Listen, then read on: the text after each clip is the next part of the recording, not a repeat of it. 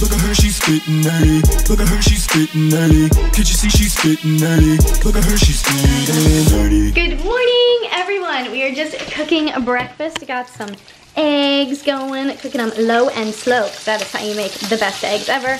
Got some bacon cooking. We also have some amazing bacon that we got from the farmer's market yesterday. From that butcher person that I was talking about before that like has the, the pasture raised, no hormones added, etc. meat. And this bacon has zero nitrates, zero sugars. Apparently it's literally just, was it salt and smoke or pepper and smoke?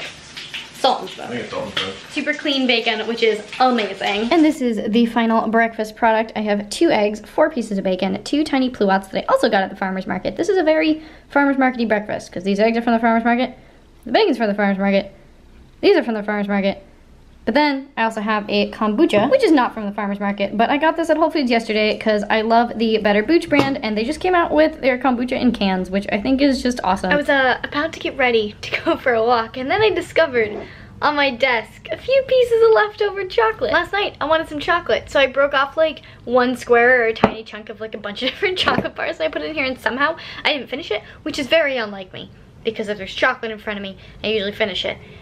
And now it's in front of me. so I'm gonna eat this. I'm about to go on my daily 5,000 step walk, but I thought I'd tell you really quick about how I'm eating today and why I'm eating this way today specifically. If you watched my last What I Eat video, you know that I am on a little bit of a cut right now, trying to lose a little bit of the weight that I put on in this last year, having a very sedentary job. And I also talked about how I want to lose this weight slowly and in a controlled way so that I don't chance any rebound and don't end up hurting my body in any way while losing this weight. There's two things I'm doing in order to make sure I do this right. First is being in a relatively small caloric deficit. I've been in about a 100 to 200 very occasionally a 250 caloric deficit every day. Probably not necessary to be this cautious about it, but like I said in my other video, I have no actual deadline that I want to lose this weight by, and also don't want to feel like I'm starving myself while I do this. I've found so far that I haven't felt deprived at all, I don't feel hungry throughout the day, like I feel like I'm getting enough food, my energy levels are still up, so this feels like a really good rate of weight loss and caloric deficit for me. And the second thing that I'm doing in order to make sure that I don't damage my body or my metabolism while I'm doing this is to add in regular refeed days or higher calorie days. So for the last two weeks, I've been pretty solidly in a deficit, but yesterday I ate around maintenance calories and today I'm aiming to eat around maintenance to maybe like a 100, 150 calorie surplus. And the theory behind why you wanna do this is essentially the same as why you'd want to incorporate a cheat day. When you're eating in a caloric deficit, your metabolism will start to slow down to account for the fewer calories so that you stop losing weight. It's just trying to stop you from burning all of your fat because it thinks that you have a more limited amount of food available. And so, you know, if you were to come across a famine, like we would have in the ancient days, it wants to make sure that you have enough on your body to continue surviving. So if your metabolism slows down because you like diet like crazy and don't eat a lot, it doesn't mean you broke your metabolism. It doesn't mean your metabolism is malfunctioning or it's doing anything wrong. It's doing exactly what it's supposed to. But that really isn't ideal if you're trying to change your body and get healthy. So doing regular refeeds like this does two things. One, it sends a signal to your body that you can get enough calories and that it doesn't need to keep slowing down your metabolism. So it'll keep your metabolism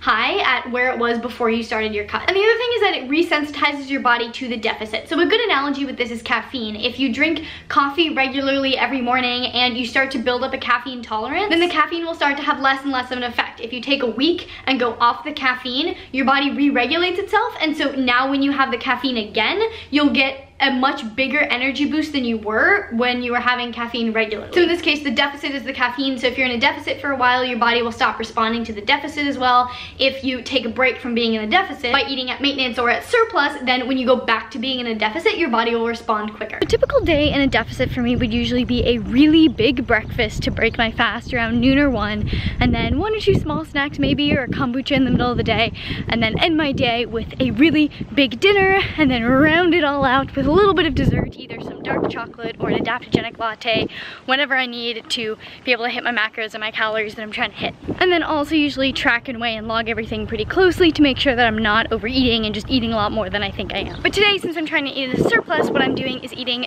three like more medium-sized meals. So that breakfast that I had was actually quite a bit smaller than my breakfasts have been the last few weeks. It was definitely a little bit more calorically dense than it looked because the farmer's market bacon was really thick. It's like the thickness of like three pieces of bacon. So in about an hour or two, I'm gonna make some lunch and it'll probably be a smoothie because it is hot outside. And also, I really want to show you the smoothie that I have been obsessed with. I've basically been alternating between having like an eggy, bacony, avocado-y breakfast and having this smoothie. So I get to show you that today and I'm really excited about it. Then I'm also really excited for dinner because I'm going to my original butcher, the one that's really far away, because they're not only a butcher shop, but they're also a restaurant. And I went there once for breakfast with my mom and it was amazing. And I've been dying to go for dinner. And I figured what better time than when I'm trying to eat in a slight caloric surplus. I am tracking today just to make sure I don't go too crazy, but obviously I won't be able to log the dinner super accurately. But I do have full confidence that if I were just to allow myself to eat intuitively, then I would have no problem hitting at least maintenance and probably be in a surplus. So I think my goal is gonna be to have consumed about 12 to 1300 calories before dinner so that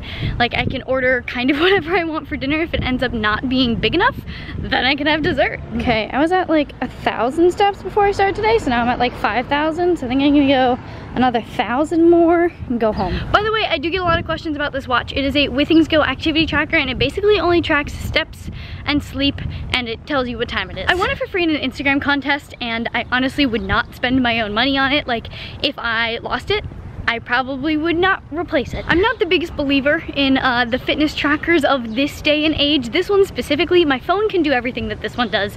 Like my phone can track steps as long as I have it on me at all times and who doesn't have their phone on them at all times in this day and age and my phone can also track sleep. So like I don't really need a separate device to do this for me. And then with the more advanced fitness trackers that give you your heart rate and your estimated daily calorie burn, those may be a little bit more worth it, but there's so many factors that actually go into how many calories you're actually burning in one day they aren't like super accurate so it's kind of debatable how worth it those are and I totally get it if like they're motivating for you or having the instant feedback is like helpful but for me personally like it's just not very useful. It is smoothie time and I am so excited because it is really hot and I'm dying and I just need something nice and cool to cool me down. I'm also getting a wee bit hungry. I would never recommend protein powder to be a staple in anyone's diet or something to be consuming regularly, especially if you can get protein through whole foods like eggs and chicken and lentils and whatever else has protein. But I've legit just actually been so obsessed with the Organifi chocolate protein that I've been having this smoothie like about every other day. And this is not something I recommend doing,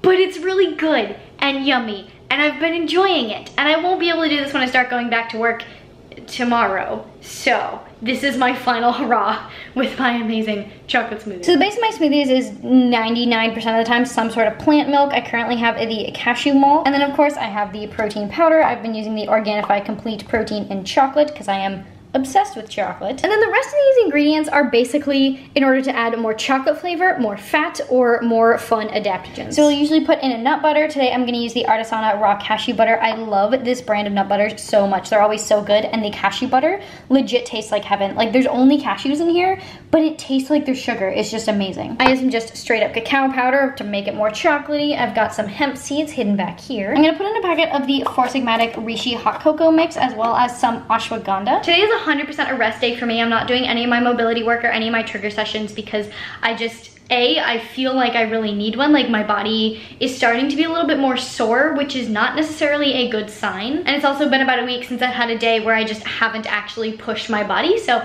it's time for a rest day. So I'm using Reishi and Ashwagandha because those are both stress reducing adaptogens. And so I like to incorporate those on days when I'm taking it easy, doing a more chill, relaxed day. I'll do that on my days where I do just do mobility and trigger sessions. But if I'm lifting, I'll usually incorporate something like cordyceps or maca, which both increase energy and boost endurance. And then hidden back here I have my Spectrum Essentials. It's chia flaxseed with coconut and cacao. And then I think I'm gonna throw in a little bit of coconut butter just to make it a little bit more creamy. So I'm actually gonna measure everything out on this scale as I make this because my smoothies, like with the number of ingredients that I add and because most of my ingredients are super calorically dense because they're very fatty, my smoothies can range from like 500 to 1,000 calories. I just don't wanna accidentally make this like a 1,200 calorie smoothie and end up in a huge surplus for the day. So as I add ingredients, I'll just be weighing it on my scale. Now it is time for the frozen ingredients and I used to always put at least half usually a whole frozen banana in all of my smoothies, but since I've been cutting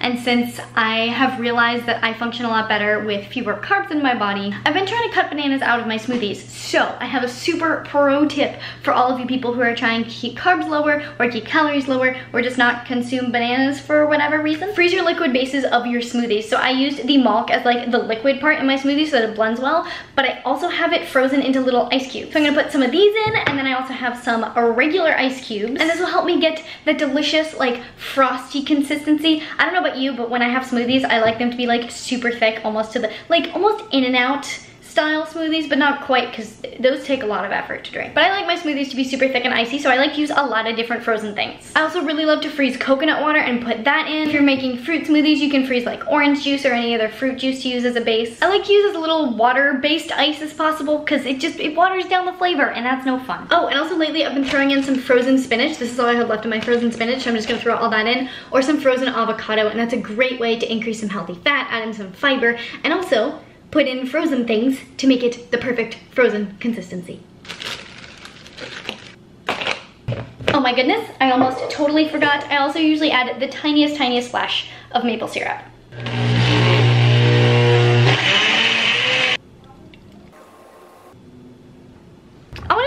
Talk about the difference between refeed days and cheat days and why I technically don't do cheat days. I think cheat days can be a good thing for some people, but I think for a lot of people, especially people who are just starting to get into health and fitness and actually start working on a relationship with food and fitness and health and their own bodies, that cheat days can foster a really negative relationship with food. Making a food okay only for a cheat meal or a cheat day makes food a lot more black and white than it actually is. It makes food either good or bad, which is not at all the reality of food. A lot of people struggle to lose weight because they struggle with portion control or meal frequency or quality of food and having a cheat day or a cheat meal doesn't fix this problem. It just kind of dresses it up as something else that people can pretend is healthy. Learning to be fit in the short term and healthy in the long term is about creating a lifestyle. And if you start off by learning to eat healthy six days out of the week and then one day out of the week just binge and eat a bunch of junk food, that doesn't translate into a healthy lifestyle or a healthy relationship with food. That more closely follows somewhat of a binge purge mentality rather than any sort of healthy mentality. And like I said, some people can do this and be totally fine. And I think people that have been in health and fitness for a while and really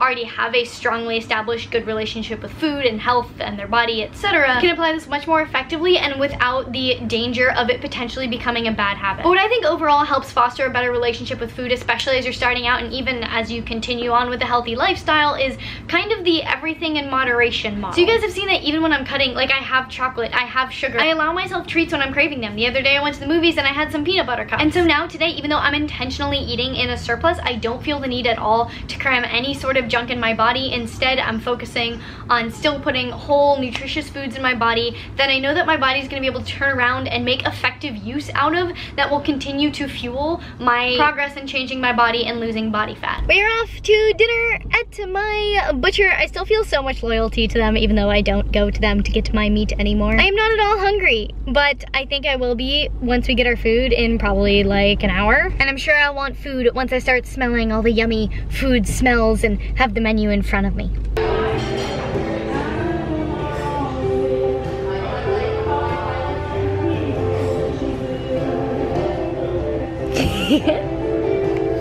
cool, yeah, can we just do the Belcampo burgers then? Would you like cooked? That is an impressive side salad.